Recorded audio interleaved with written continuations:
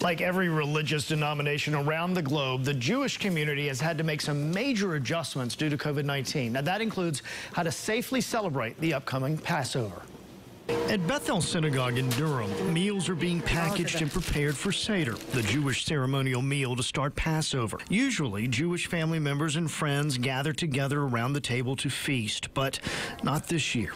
In no uncertain terms, we have told people you may not gather in each other's homes for a Seder. We must must respect the physical and social distancing. Since North Carolina set its social distancing guidelines for places of worship, Rabbi Daniel Greyber has been holding services virtually. Doing a lot of the melodies that people find familiar, and people are able to see the sanctuary that for them is a very safe space and a place that provides a lot of comfort. That comfort has meant making exceptions to the rules.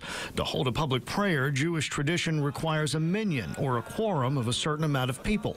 Technology and COVID 19 have changed that, whether on an app for some, or Zoom, Facebook Live, or Skype for others.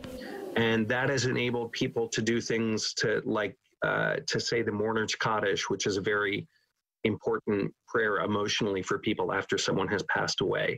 Any last words of hope or wisdom to folks who might be watching, regardless of their religion? Whether you're celebrating Passover or not, my hope at this time is that people connect with faith and know that freedom will return and that we will be okay.